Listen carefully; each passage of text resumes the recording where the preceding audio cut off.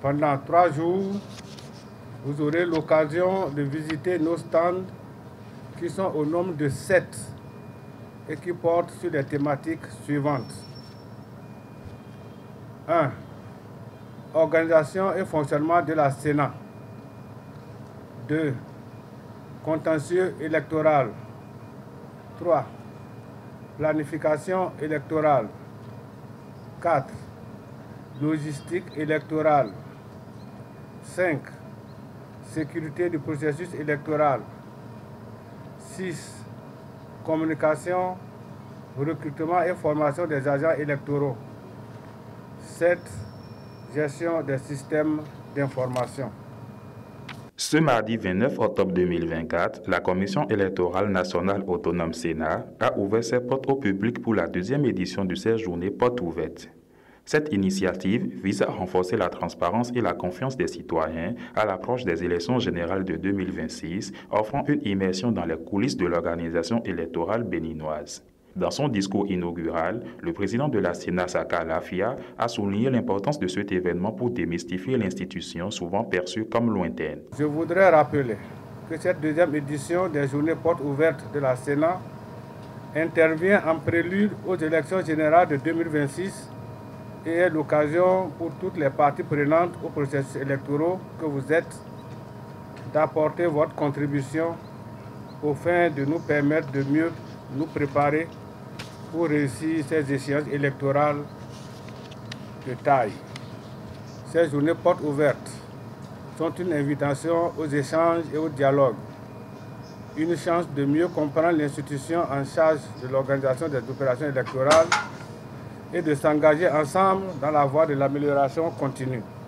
La Sénat encourage les participants à poser des questions et à exprimer leurs attentes. Nous avons eu le privilège de constater comment s'organise la logistique au niveau de la Sénat, la planification électorale, le système d'information, la gestion des contentieux et pourquoi pas la communication au niveau de la Sénat.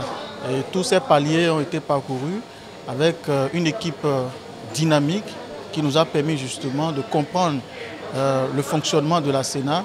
Aujourd'hui, nous sortons de cette première journée bien informés, bien rassurés de ce que les élections générales à venir, qui sont d'ailleurs euh, les grands enjeux euh, qui préoccupent la Sénat, puisque c'est le tout premier exercice de ce genre que la Sénat s'en va s'appliquer à faire. Et pour cela, la Sénat est en train de mettre le gros moyen et nous nous, réjouissons tout simplement d'avoir pu constater de visu, à l'occasion de cette première journée des portes ouvertes de la Sénat, tout ce qui se fait.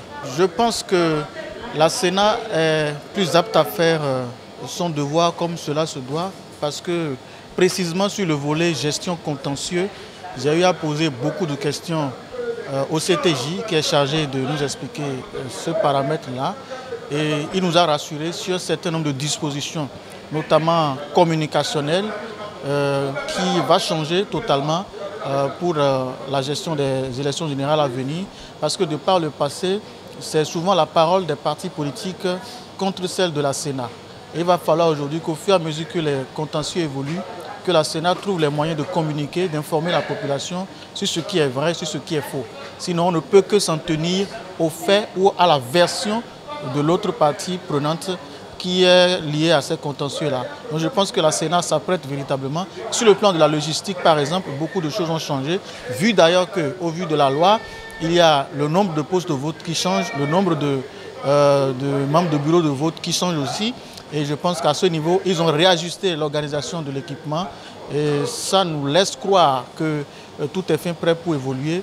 Reste euh, à espérer que la, synergie qui doit accompagner tout ceci puisse être réelle et que le citoyen lambda, chacun de nous, puisse s'appliquer parce que ce n'est pas que la responsabilité de la Sénat, c'est la responsabilité de chacun de nous en tant que citoyen béninois d'accompagner ces élections-là afin que ce soit des élections, euh, des moments de fête comme on en a l'habitude dans notre pays. Avec les élections de 2026 à l'horizon, la Sénat espère établir ce rendez-vous annuel comme un moment essentiel pour sensibiliser les Béninois aux valeurs démocratiques.